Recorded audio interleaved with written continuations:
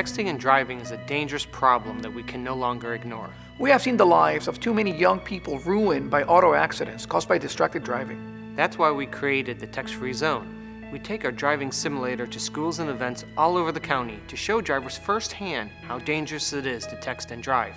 To find out about our events and how you can get involved, visit our website, rueziffra.com. Make your car a text-free zone It's up to you.